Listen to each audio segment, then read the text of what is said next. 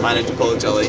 My mum packed packed lunch box today. An aubergine, banana split wrapped in tin foil, cucumber, Dairy Dunkers, um, 11 eggs, some flipper dippers, uh, gravy, some Haribo Tangfastics, um, uh, an ice pop, jelly pop manufactured by Rowntree's, curly kale, um, lilt, um, a mango, two slices, uh, neon nerds, a flask of Ovaltine in case it's cold, um, Oh, one that goes.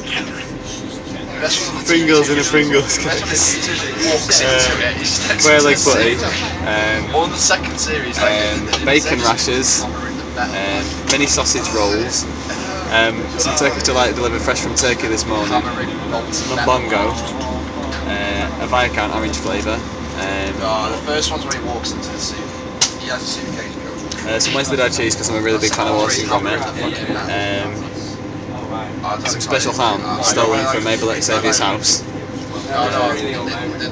uh, a Yorkie because it's not for girls, and some zinc tablets for my zinc deficiency, and I didn't share any of it.